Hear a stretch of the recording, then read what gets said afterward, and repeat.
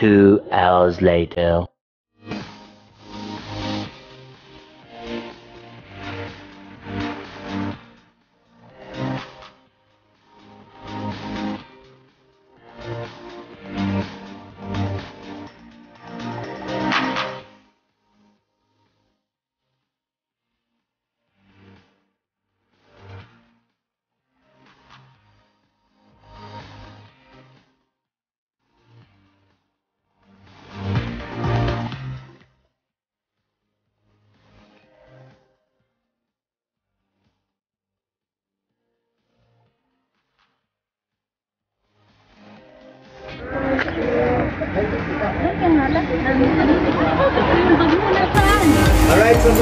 Lang mga kapatid.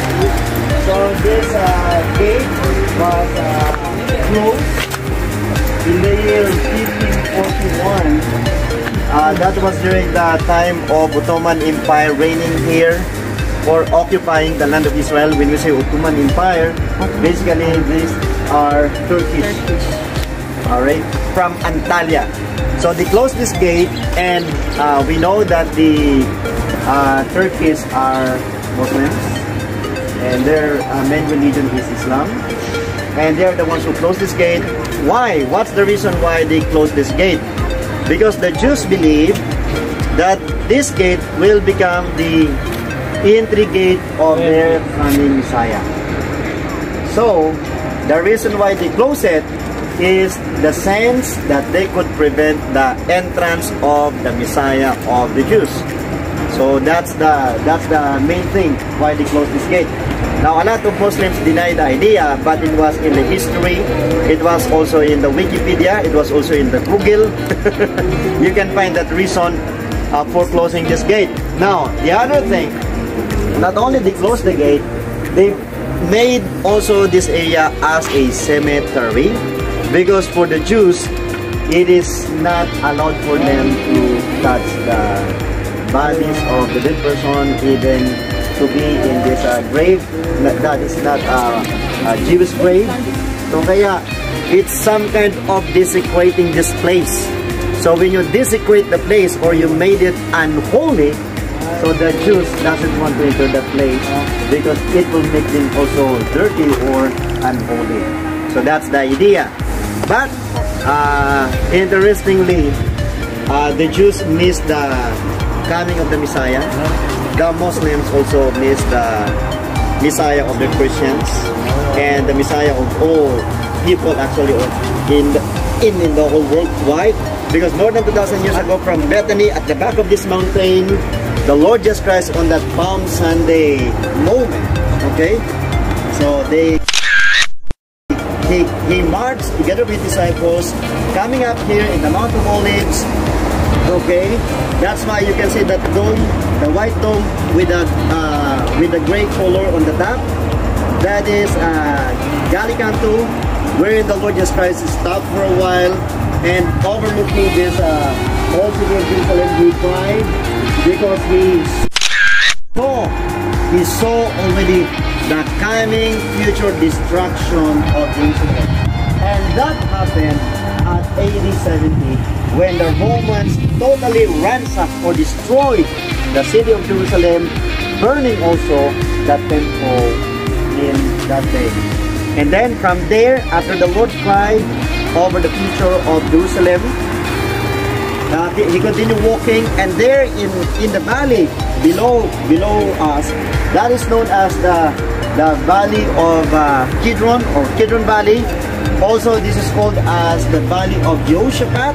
So the people who follow the Lord Jesus Christ, they put down their garments, their clothes there, and also the leaves of the palm, and they are shouting, Hosanna, Hosanna, blessed is he who comes in the name of the Lord Jesus, in the name of the Lord. So then the Lord Jesus Christ continued to enter the temple through this gate. The entrance of the Lord Jesus Christ in this case is already a fulfillment of the prophecy that the Messiah will come and he will enter the eastern gate. That happened already. So, meaning, the Jews missed the Messiah. And we know that until today, they still rejecting the Lord Jesus Christ as the Messiah. But thanks God, we already have Jews for Jesus. We already we already have uh, um, some uh, Christian Jews in the land of Israel. So as the Lord Jesus Christ entered this gate, what he saw in the vicinity of the temple, the the merchants, the businessmen, it became a marketplace. Kaya itinapon ng Panginoon sa Kristo yung mga tables nila, yung mga paninda na doon. At ano sabi ng Panginoon sa Kristo? The, my house or the house of my father is a house of prayer. But you made it a den of thieves. Ginawa niyo itong ah, yung den ay bilang kuwan, di ba? Okay? Kulungan. Yun. Kulungan. Ng mga magnanakaw. So, nandiyan na sila. So, na-desecrate na talaga yung temple. Panahon na yun. So, that's the story of this Golden Gate. But, the Bible has a prophecy that Christ, the Messiah, will come again on His second coming. He will arrive in Mount of Olives where He ascended more than 2,000 years ago. And from there, He will enter again the old city, Jerusalem, and He will enter on the same gate. I don't know what will gonna happen on that day, but maybe Christ will open this gate. We don't know how, but He will enter on the same gate, this one, on His second coming. So that's the story of this gate. Alright, so thank you so much. So have a picture, and then we will continue our journey papunta ng, ah, ng ah, City of David. So darabang mga kapatid. Okay?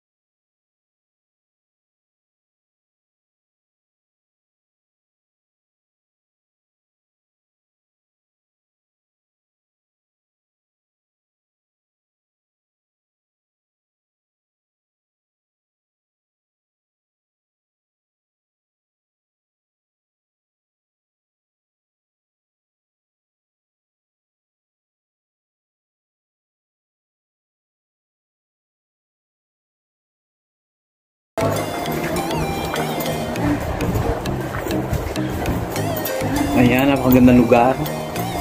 Dito sa Jerusalem. Ayan, no, tingnan nyo kung... Ayan nyo, napakasimple lang ng libingan nila. Ganyan lang.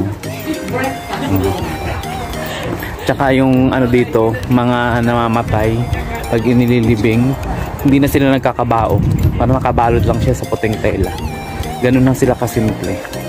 Parang hindi sila, hindi importante sa kanila yung kabaong. Ayan, tingnan mo, napakasimple ng libingan nila.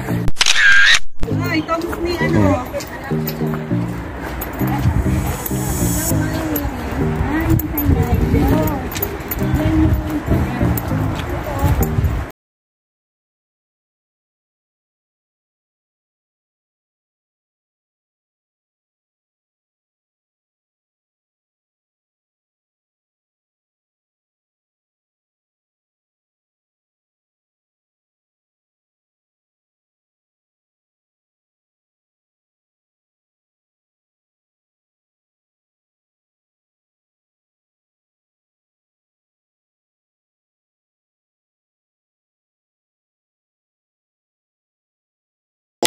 Six and a half hours later. Ayan mga kapapa, nakapuntahan na naman natin ang ano, Golden Gate. So abangan ninyo yung aking upload.